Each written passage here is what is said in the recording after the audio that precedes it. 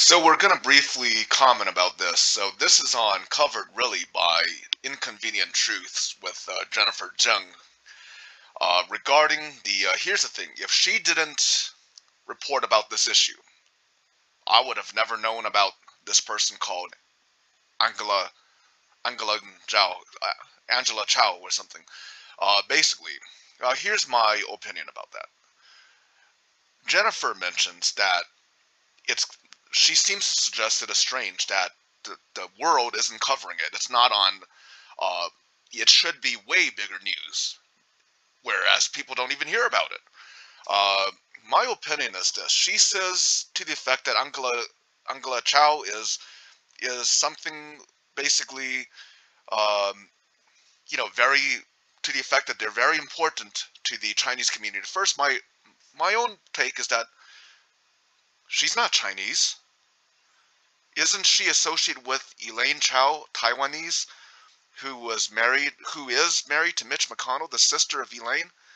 The father is basically, I to the best of my knowledge, they, her family, they're they're not Chinese, they're Taiwanese. So, and personally, I don't see them as a big deal. Why is Angela such a big deal?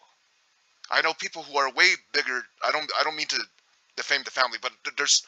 I know people who are way bigger than the so-called ceiling family. How are they even a big deal?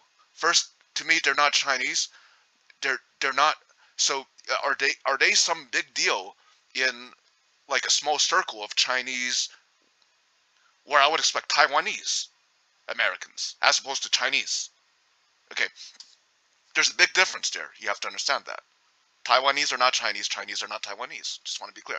Okay, so, um, so I don't see how she's that important.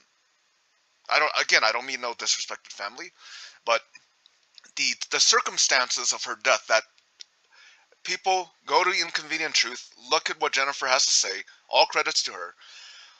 Well, not necessarily all credits her because this is now kind of public knowledge. Because uh, in terms of her death, no, no, I'm not talking about Jennifer. I'm talking about the uh, Angela, Angela, this this CEO's death. no, no confusion there. Okay, sorry for the confusion. Okay, Angela's death. In terms of Angela's death, um, if she was, I don't know if she was driving a Tesla, but here's the thing, uh, Jennifer, you just veered into the territory of death, mystery, missing persons. Uh, if her car veered into a ditch, Okay, and she was recovered. They did emergency medicine on her, uh, you know, CPR, first aid, or whatever. They couldn't revive her.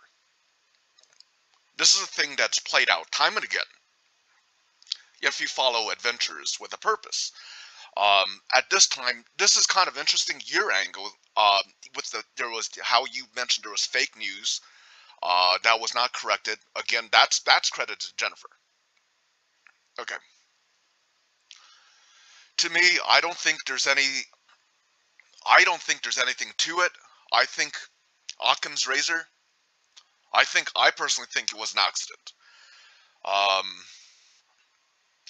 her family, with her, you know, whether or not her family, what whatever their business dealings might be, I don't know. I don't want to conjecture. I don't want to defame. I don't want to conjecture. But there should be no China connection to it because uh, uh, in my opinion, she's just not important in terms of politics. Um, who can I think of that uh, that China might not might dislike, which I also think it's silliest. There was this, dude, listen, called Guo Wengui. Uh, he was on a yacht talking about how he wants to create a new federal states of China. Okay, this is the same thing that I said um, the Chinese government goes into paranoia overdrive in silencing critics. First of all, no disrespect, Falun Dafa is not a threat to the Chinese state. Uh, Guo Wengui is not a threat to the Chinese state. What is he raising an army in New York? Is the CIA training, uh, you know, legions of Guo Wengui's alternative new China government troops? Oh, are they going to launch? Are they going to launch the attempt to retake mainland China? Is he trying to be Chiang Kai-shek? No, none of you guys are threats to the Chinese government. And when the Chinese government goes overboard, uh, you know, these alleged overseas state police stations, they're just overreacting. Okay, the, the the Chinese government has all these nuclear armaments. They don't need to feel threatened by Guo Wengui with the on with the boat and Steve Bannon where he's talking about this is a blood oath. You, okay, in Chinese culture, there's a blood oath. Okay, where you know how people who are not related, right? This is kind of Chinese culture. If I if I want to become blood brothers with Kenny, there's this idea. Don't do that. That's that's you know under that's kind of like self harm or something. But basically, there's a tradition. You have this blood oath, or the word either you sign it in blood, or you become uh, you know, adopted blood brothers by each person shaking their hand in their blood, and now now you've conjoined blood, and now you're brothers, even if you're not part of the same clan, tribe, uh, you know, if you're not part of the same kinship group, if you're not part of the same tribe, if you don't belong to the same clan and direct family descent. So this this this has nothing to do with communism. Okay, Karl Marx would laugh their ass off and call it superstition, but these are feudal, you know, blood oaths kind of thing. Okay, so Chinese culture didn't disappear with communism. So there's a lot of old traditions. But to me, I don't think Angela has anything to do with some anything to do with any type of you know conspiracy and quite frankly the reason why news media is not reporting about it is i don't think there's any suppression. I think they're not important. I, I uh, there, there is there's some rich taiwanese married uh who's connect you know the, the sister connected mitch mcconnell. Who the hell cares about freaking mitch mcconnell? He's some he's an american bourgeois politician in their bourgeois system